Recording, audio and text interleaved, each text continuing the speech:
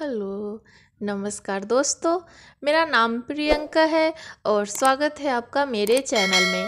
आज हम बनाने वाले हैं पालक चिकन। अगर आपको पालक पसंद है और चिकन पसंद है तो फिर दोनों का ये कॉम्बिनेसन आपको बहुत ज़्यादा पसंद आएगी।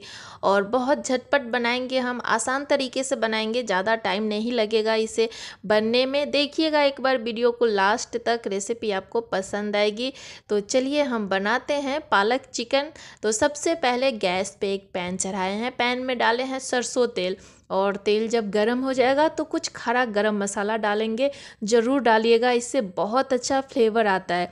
तो दो बड़ी इलायची, चार छोटी इलायची तोड़ के डाल लिए हैं। थोड़े से दालचीनी के टुकड़े डाले हैं और यहाँ पे छः सात ब्लैक पेपर और पाँच छः लौंग डाल देंगे। एक तेज पत्ता कट करके डालेंगे। दो साबुत लाल मिर्ची को भी हम तोड़ के कट करके डाल लेंगे और एक चम्मच के करीब इसमें जीरा डालेंगे। तो दो लाल मिर्च डाले हैं हम कट करके।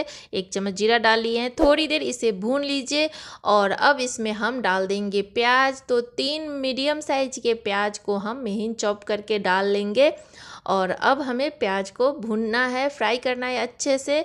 तो थोड़ी देर हाई फ्लेम पे आप इसे भून लीजिए, थोड़ा सा प्याज सॉफ्ट हो जाए। यहाँ पे अदरक, लहसुन का पेस्ट भी हम ऐड कर लेंगे ताकि साथ में ये भी भून आ जाए। तो इसे भी हमें साथ में भून लेना है, प्याज के साथ ही इसे भून लेंगे। नमक डाल लेंगे यहीं पे, नमक डाल देने से प्याज जल्दी भुना जाता है। तो यहीं पे आप टेस्ट के अनुसार नमक डाल दीजिए और फिर प्याज को थोड़ी देर और हम भूनेंगे। प्याज को एकदम से ब्राउन नहीं करना, पर प्याज थोड़ा सा सॉफ्ट हो जाए तब तक आपको भूनना है। यहाँ पे आप देख सकते हैं, प्याज अच्छे से सॉफ्ट हो गया है। तो यहाँ पे हम टमाटर ऐड करेंगे। दो बड़े साइज़ के टमाटर को हम चॉप करके डाल लिए हैं और नमक तो हम पहले से डाले हुए हैं ही। बस टमाटर को अच्छे से मिक्स कीजिए प्याज में। और थोड़ी देर के लिए कवर कर दीजिए। कवर कर देने से टमाटर जल्दी पक जाएगा तो हम यहाँ पे इसे दो तीन मिनट के लिए कवर कर देंगे। और यहाँ पे दो तीन मिनट कवर करके टमाटर को हम पका लिए हैं। टमाटर अच्छे से सॉफ्ट हो गया है तो इसे हम थोड़ा सा चला लेंगे और इसके बाद यहीं पे हम मसाले ऐड कर लेंगे। तो गैस को बिल्कुल सिम कर दीजिएगा। और यहाँ पे डेढ़ चम्मच हम डाले हैं कश्मीरी लाल मिर्ची पाउडर, आधा चम्मच हल्दी पाउडर और एक चम्मच धनिया पाउडर। और आधा चम्मच यहाँ पे ये जीरा का पाउडर है और बस इसे अच्छे से मिक्स करना है हमें और फिर उसके बाद कुछ सेकंड के लिए इसे भून लेंगे या आप इसे एक मिनट के लिए चलाते हुए भून लीजिए। सूखे मसाले बहुत जल्दी भून जाते हैं। तो अब इसमें हम डाल लेंगे चिकन। चिकन अच्छे से साफ़ करके हम ले लिए हैं। मैरिनेट नहीं करना है हमें। और पूरे चिकन को रख के इसे अच्छे से मिक्स कीजिए। पहले इसे अच्छे से मिला लीजिए मसाले में और उसके बाद कवर करके सात आठ मिनट के लिए हम इसे पकाएँगे। और गैस का फ्लेम मीडियम और स्लो के बीच रखिएगा। मीडियम से कम ही रखिएगा। बीच बीच में इसे चलाते रहिएगा, चेक करते रहिएगा। तो यहाँ पे मिक्स कर लिए हैं हम अच्छे से और कवर कर देते हैं। जब तक चिकन हमारा भुना रहा है, तब तक यहाँ पे हम पालक लिए हैं साफ़ करके अच्छे से धो के और अब हम इसे पीस लेंगे तो थोड़ा सा मोटा मोटा चॉप करके पीस लीजिए।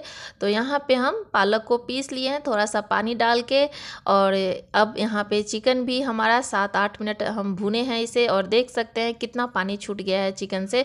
तो स्लो गैस पे आप इसे भुनेंगे ना तो चिकन से पानी छूट ही जाता है। इसमें हम पानी बिल्कुल नहीं डाले हैं, चिकन बहुत अच्छे से हमारा भुना चुका है।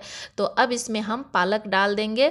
तो जो पालक हम पीसे हैं ना, वो डाल लेंगे। पालक को उबाल के आपको पीसने की कोई ज़रूरत ज़रूरत नहीं है। आप कच्चा पीस के डाल दीजिए, चिकन के साथ पालक पक जाएगा और प्लस चिकन भी हमारा फिफ्टी परसेंट अभी कच्चा है तो दोनों एक साथ पक जाएगा। यहाँ पे हम पानी डाल देंगे तो आपको जैसा ग्रेवी चाहिए उस हिसाब से यहाँ पे पानी ले लीजिएगा।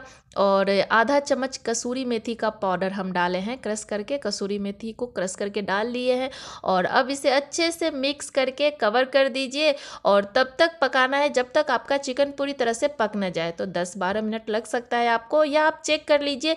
चिकन जब तक पक ना जाए और ग्रेवी एकदम से गाढ़ी ना हो जाए, तब तक आपको पका लेना है। और यहाँ पे ढक के हम इसे 10-12 मिनट के करीब पकाए हैं और आप देख सकते हैं, पालक भी पूरी तरह से पक चुका है, चिकन भी अच्छे से सॉफ्ट हो गया है। तो पूरी तरह से ये पालक चिकन बन के तैयार है। यहाँ पे हम गैस को बंद कर देंगे और इसमें डालेंगे थोड़े से हरी मिर्ची। चीरा लगा के डाल लेंगे, अगर आपको पसंद है तो ज़रूर डालिएगा। पालक में हरी मिर्ची बहुत अच्छा लगता है। प्लस यहाँ पर गर्म मसाला पाउडर डाल लेंगे एक चम्मच। अगर आपको धनिया पत्ता पसंद है तो आप डाल सकते हैं। हम नहीं डाले हैं, इसे अच्छे से मिक्स कर दीजिए और थोड़ी देर के लिए हम इसे कवर करके छोड़ देंगे। तो इसे अच्छे से मिक्स कर लिए हैं हम, कवर कर देते हैं थोड़ी देर के लिए, उसके बाद इसे सर्व करेंगे। बहुत ज़्यादा टेस्टी पालक पनीर बनके तैयार है सर्व करने के लिए। तो हम यहाँ पे इसे सर्व कर लेते हैं, एक बार बनाइएगा। बहुत ज़्यादा टेस्टी बनके तैयार होता है। अगर आपको पालक पसंद है ना और चिकन पसंद है तो दोनों को एक साथ ऐसे बना के देखिएगा, पसंद आएगी आपको। तो बस यहाँ पे हम इसे सर्व कर लिए हैं। एक बार बनाइएगा, बताइएगा कैसा लगा मेरा ये रेसिपी। अगर मेरा रेसिपी आपको अच्छा लगता है तो प्लीज़ मेरे चैनल को सब्सक्राइब कर लीजिए, बेल का बटन प्रेस कर लीजिए ताकि मेरा हर वीडियो आपके पास पहुँच सके। वीडियो अच्छी लगे तो लाइक कीजिए, शेयर कीजिए, कमेंट कीजिए। थैंक यू मिलते हैं आपसे नेक्स्ट वीडियो में एक और अच्छी सी रेसिपी के साथ।